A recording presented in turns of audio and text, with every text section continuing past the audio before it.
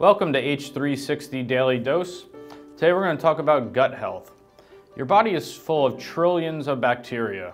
While some bacteria are associated with disease, others are actually extremely important for your immune system, heart, weight, and other aspects of health. So we have gathered some information to help you keep your gut healthy.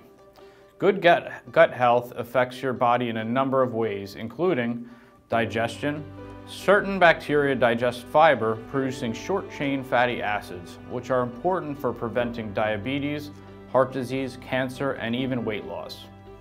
Control your immune system. By communicating with immune cells, the gut microbiome can control how your body responds to infection. Control brain health.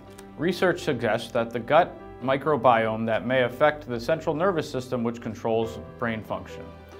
It is clear that having good gut health can have a huge impact on the health of many different parts of the body. From brain health to weight loss, there are plenty of advantages to having good gut health. And that's your daily dose for today.